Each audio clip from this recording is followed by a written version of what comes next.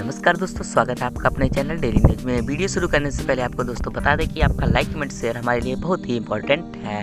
मंगल ग्रह पर दिखाई दिया समस्या छेद। नासा ने शेयर की तस्वीरें। वैज्ञानिक बोले हो सकता है जीवन जनता का रिश्ता।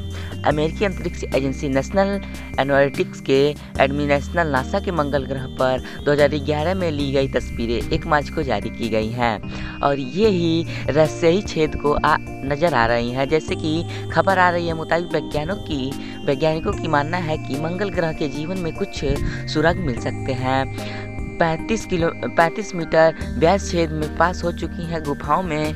पता चल रहा है कि वैज्ञानिक अभी की तस्वीर अपनी स्टडी कर सकते हैं।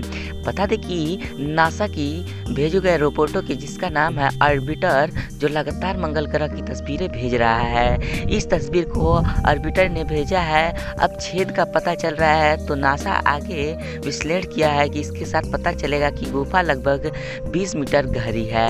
नासा के अपने एक ब्लॉक कहा है कि छेद के आसपास कुछ सुरक्षित गुफाओं को पता चल रहा है कि उनकी लंबाई 35 मीटर से गहराई 20 मीटर तक होने की अनुमान है।